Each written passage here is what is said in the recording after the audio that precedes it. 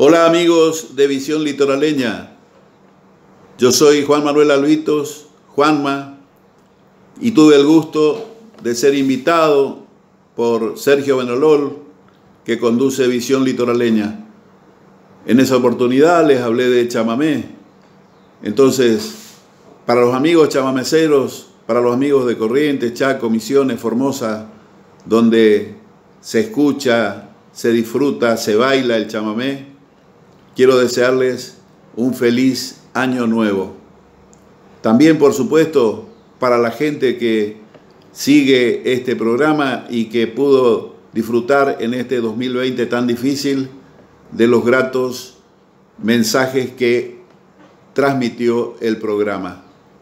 La alegría te, tiene un especial condimento, ¿no es cierto?, para que podamos soportar el año, las dificultades.